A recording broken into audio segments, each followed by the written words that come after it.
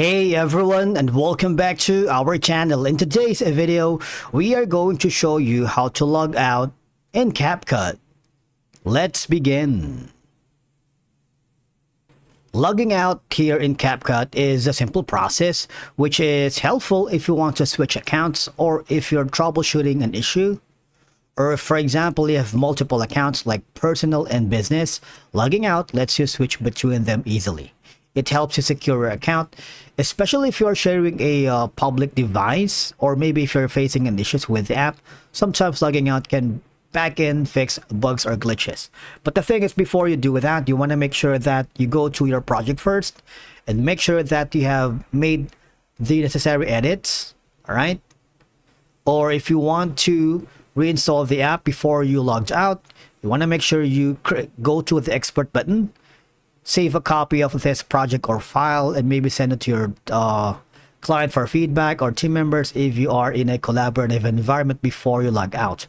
Because when you log out, there's a highly chance that you might not be able to save your project that easily. All right, so here, once you have saved your project, all you have to do is go to the profile page, which is going to be found on the bottom right corner. You see the me icon. I want you to click on that you will be forwarded to this section and I want you to click the diamond icon on the upper right corner beside the bell icon and then hover down here where it says sign up. If you do that, you will be noticed that you will be logged out of your account without any problem. It's kind of easy. It's a straightforward process and there you go. You are now logged out of your account here in CapCut. All right.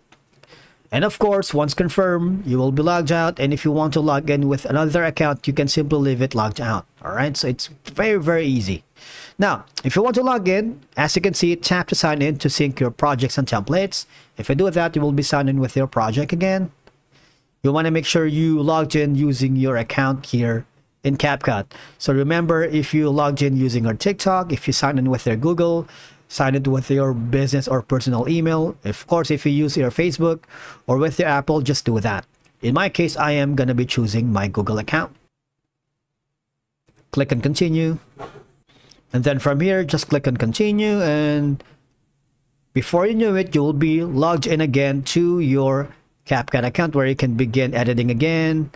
And that's it. Logging out of CapCut is a quick and simple process, especially if you're logging out for troubleshooting. Just remember to log in back afterwards to continue editing and saving your projects by clicking the export button on the top right corner. Thank you so much for watching. We will see you again in the next video.